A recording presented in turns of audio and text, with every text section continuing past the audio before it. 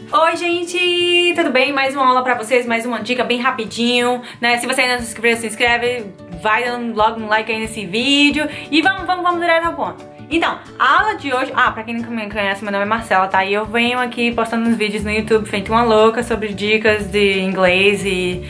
É isso aí, espero que vocês gostem, né?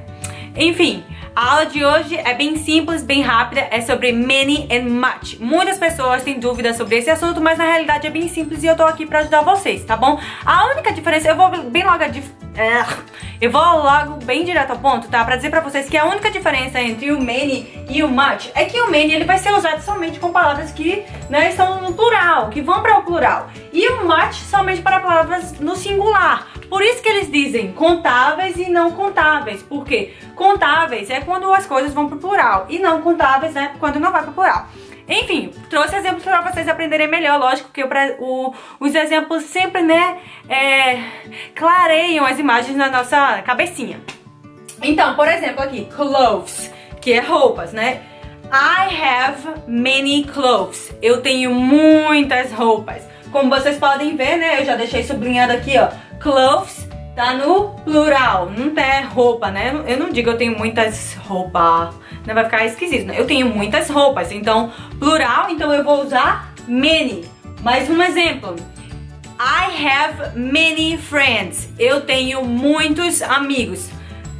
Friends também tá no plural e tem um Szinho também, então tá no plural, plural, many. Só dizendo pra vocês, pra quem não sabe, eu não disse no começo do vídeo, que many e much, os dois vão significar muito, né? Mas por isso que muita gente tem muita dúvida, porque muito, qual que eu vou usar, o many ou much? E a única diferença que eu já falei pra vocês, many quando a palavra estiver no plural, much quando a palavra estiver no singular. Não tem erro, tá bom, pessoal? Vão sem medo, tá?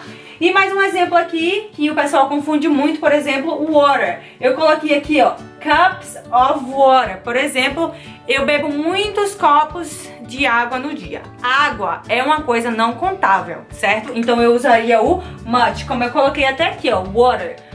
Eu não bebo muita água durante o meu dia, né? I don't drink much water during my day, por exemplo, né? Então eu usaria o much, mas aqui eu trouxe cups of water, que é copos de água, né? Como vocês podem ver, o cups, né? aqui é o copo.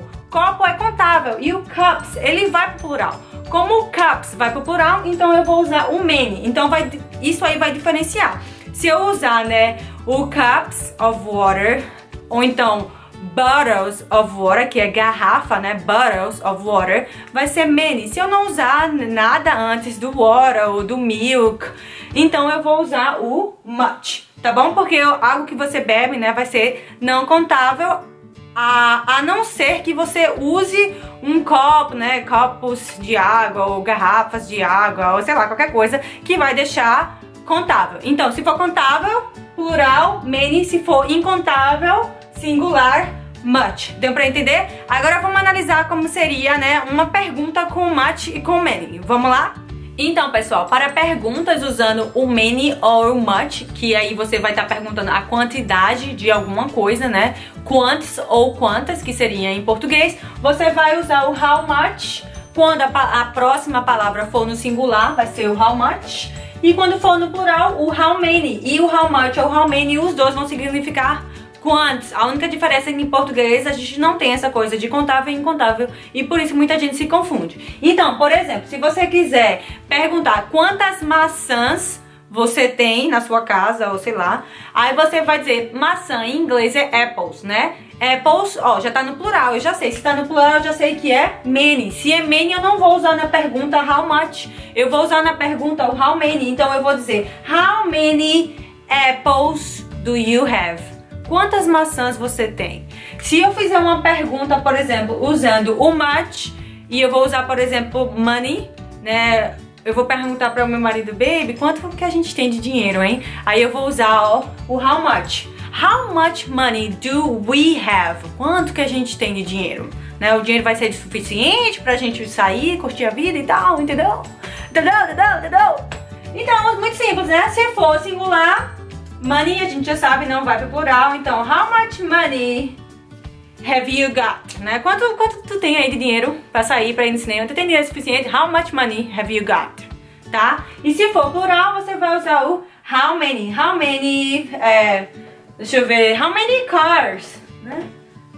How many cars? Como vocês podem perceber, sempre no plural usando how many, tá bom? E sempre no singular usando how much. Agora vamos praticar, eu vou fazer um exercício bem rapidinho com vocês pra ver se vocês aprenderam, tá bom? Vamos lá? Então, pessoal, a gente vai focar agora no exercício aqui e a gente vai completar usando o many ou o much. Lembrando que o much quando tiver no singular e o many quando tiver no plural. Então a gente vai olhar aqui para as palavrinhas, né, depois do blank space, tá bom? Então aqui, ó, milk, tá no plural ou tá no singular? Tá no singular. Não vou nem olhar a frase, tá no singular. Se tá no singular é o much. Então a pergunta é How much milk have we got? Né? Quanto de leite que a gente tem, né? A gente tem muito leite, tem pouco leite? Essa seria a pergunta mais ou menos, tá? A número 2. I don't drink.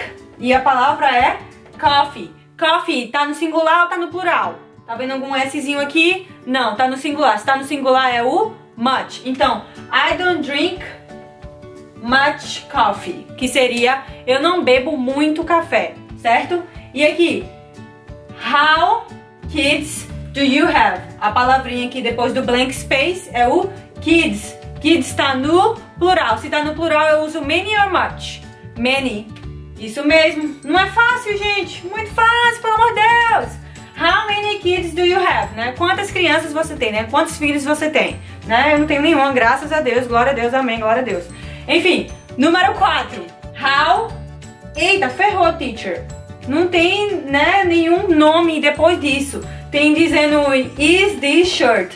Se, tem, se pode ser how many ou how much aqui, e eu coloquei as cifrazinhas aqui, ó, é pra vocês entenderem que é, eu tô perguntando um preço. Toda vez que eu estiver perguntando o preço, eu vou sempre usar o how much, tá bom?